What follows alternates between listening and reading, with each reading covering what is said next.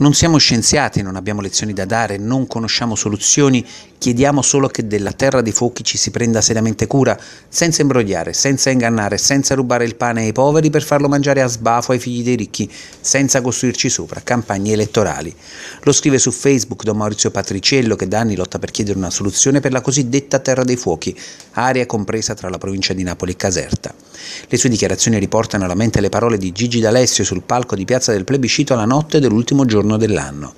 D'Alessio in quella circostanza ha detto che questa non sia più la terra dei fuochi, ma la terra dei cuori e dei suoni, aggiungendo che secondo i dati solo l'1% del territorio risulta inquinato. Dichiarazioni alle quali sono seguite quelle del presidente della regione Campania Stefano Caldoro, che ha affermato sempre su Facebook: La terra dei fuochi continua a essere una nostra priorità e una comune, forte e quotidiana preoccupazione, ma oggi abbiamo voltato pagina.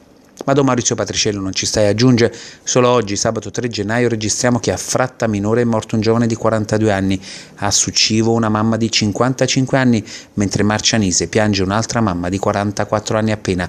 L'appello, l'ennesimo di Don Maurizio a prendersi cura della Terra dei Fuochi, nasce proprio da qui, dalla tragica conta delle persone morte per patologie tumorali. Non a caso Don Maurizio scrive ancora su Facebook, cancro, cancro e solamente cancro.